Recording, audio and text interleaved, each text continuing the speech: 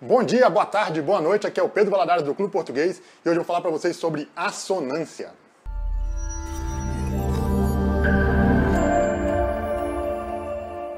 Assonância é a repetição dos fonemas vocálicos, ou seja, das vogais. Então, por exemplo, na frase, a fala atraca a faca. Então você vê que há uma repetição da vogal A. Então isso caracteriza a assonância. É isso, pessoal. Espero que vocês tenham gostado. Se gostaram, clique aqui no joinha, se inscreva no canal. Não se esqueça de apertar aqui o sininho, que aí você recebe o aviso dos próximos vídeos. É isso, um grande abraço e até a próxima.